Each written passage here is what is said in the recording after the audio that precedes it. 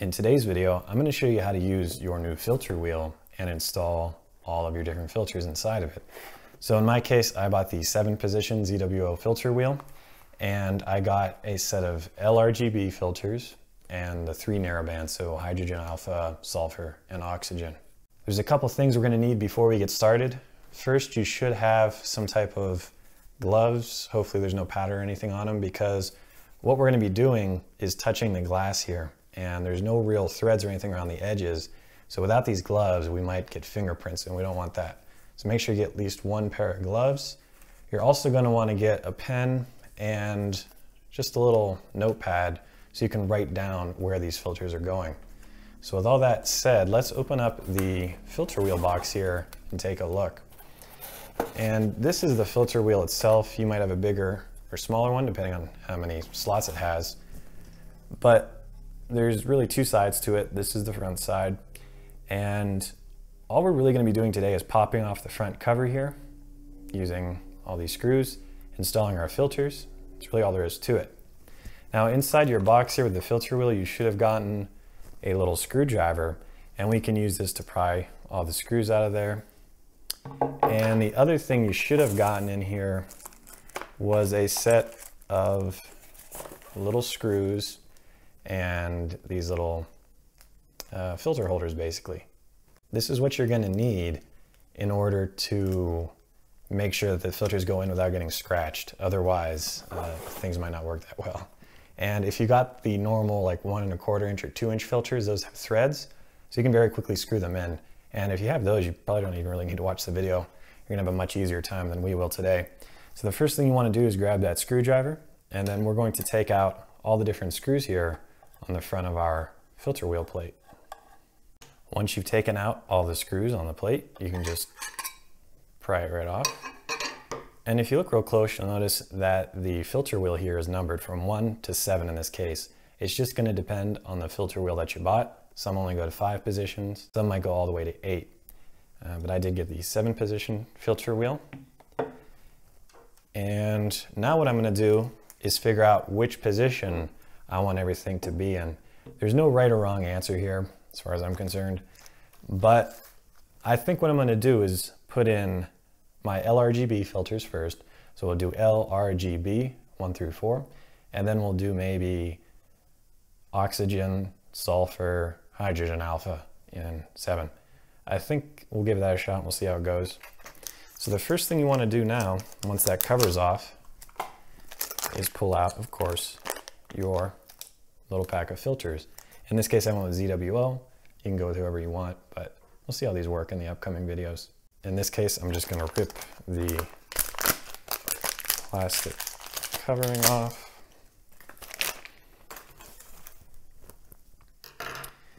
And there's our LRGB filters. And the narrowband are gonna come in, looks like their own individual boxes. And if we open these up, we can see exactly what's inside. Looks like they're using the same little plastic case. So that's what we're working with here. You want to make sure you don't get everything mixed up. They are labeled, thankfully. Um, but we'll start off with the LRGB filters because that should be the easiest. At this point, I'd recommend putting on your gloves. And also, if you know what you're going to do, write it down on a little card here.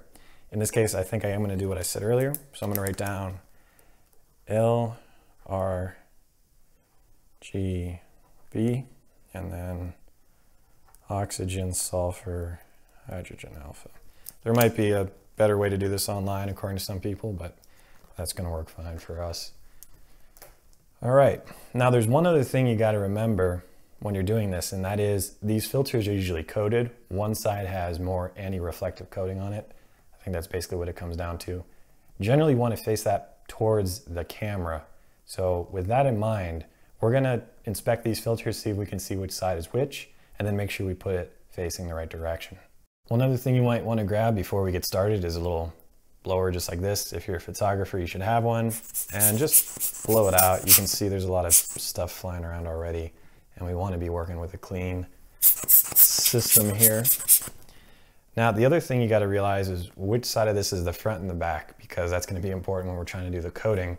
So this is the camera side of the filter wheel with all the letters on it. We're going to be putting the camera on this side, and the telescope or your camera lens is going to be on this side. So the way it works is we're trying to put the anti-reflective coating facing this way towards the camera, which means it's going to be face down. So hopefully that makes sense. The problem we're going to have is that it's going to be kind of hard to see which side it has the coating, which side doesn't. I guess we'll just have to try and figure that out during the video. See if we can.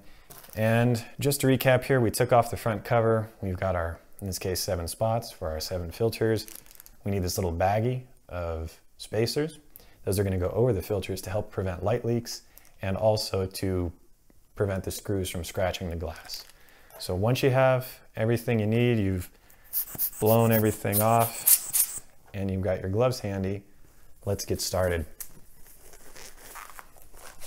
The other thing you're gonna need apparently is a pair of scissors, just because these are in a like vacuum sealed little plastic bag and we need to cut that open. So what you don't wanna do is have the plastic drop in the filter holder.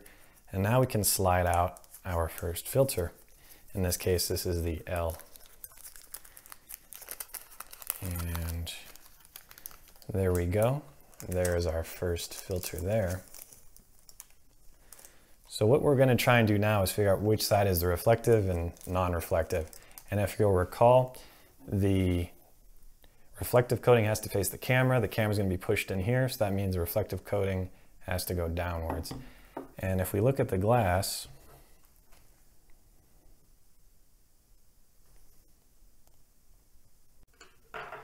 frankly, I can't tell the difference. and I'm sure there's quite a few people that have the same issue. Um, so worst case scenario, if you're not sure, you can put it in anyway. We can always change it later on and just flip it around. But in this case, I'm gonna just guess and say this is the right way. And we'll drop it onto the slot there. It should drop right down inside of there, provided you got the right size filters. Once we've placed it in there, now we can grab our little bag of screws and these little filter holders. Then we'll line up the grooves on the filter holder like so. And now we can take our little tiny screws and screw those in. And it looks like the screwdriver that came to pop off the cover, the it's just a little bit too wide. So I'm actually gonna have to go grab another screwdriver and then we'll continue on. And make sure when you're doing this, you don't lose the screw and it falls somewhere in the filter wheel because that can cause problems. Um, in fact, what I might do just to make sure everything is level is pull that off, pull the filter off, and I'm going to remove this piece here. You can just unscrew it. That should at least help you have a more level playing field, if you will. So there we go, that's more level. I'm going to spray my filter off. And again, I really can't tell the difference, to be honest with you, in the video.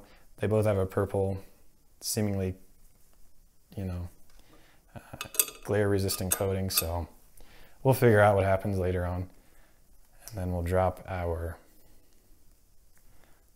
little piece down like that grab one of our first screws and then we'll tighten this down.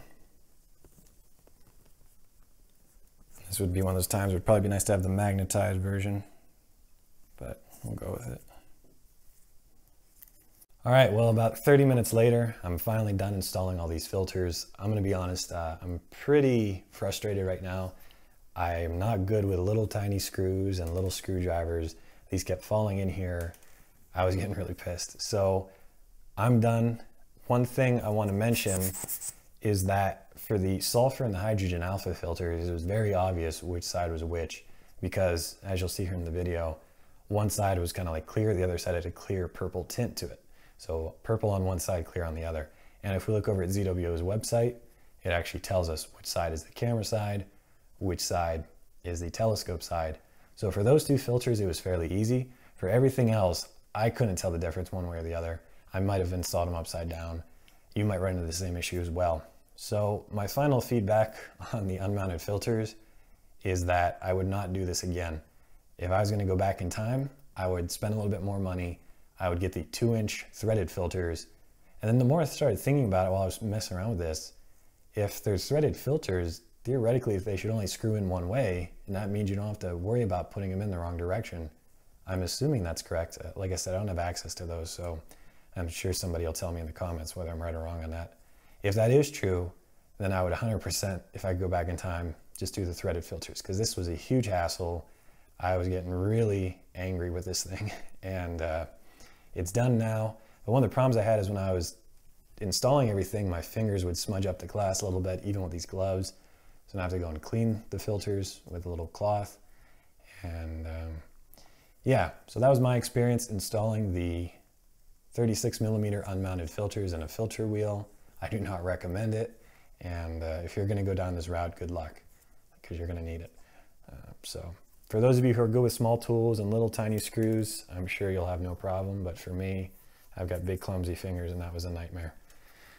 All right, so just to recap what we talked about today, and it was kind of hard for me to show everything. I'm doing it all by myself. I got the dual cameras going, but basically just write down which slot you're going to be putting these different filters in so you can assign that later on in your software.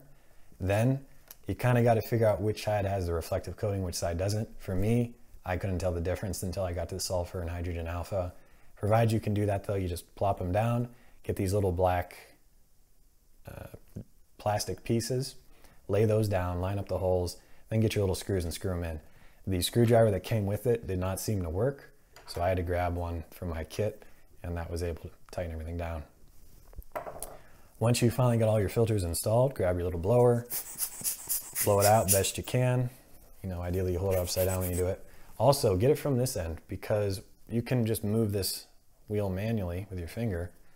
And uh, I'm gonna go through, blow everything out from the back end. And then finally, I'm gonna get a little microfiber cloth and rub them down. And hopefully that doesn't mess them up at all. But uh, there's just some smudges and things now. Then when I'm done with all that, I put the little cap on, grab the screws, tighten it down. Then at that point, we can finally attach our camera and get to the more advanced stuff. But uh, hopefully I at least showed you how to do this somewhat. and if you haven't bought your filters yet, maybe now you'll realize that the unmounted filters are a huge hassle, potentially anyway. And if you found that it's gonna be a problem, consider getting the one and a quarter inch or the two inch threaded filters, and that'll save you a lot of time and a lot of frustration. That's all I got for you today, and I'll see you guys in next week's video.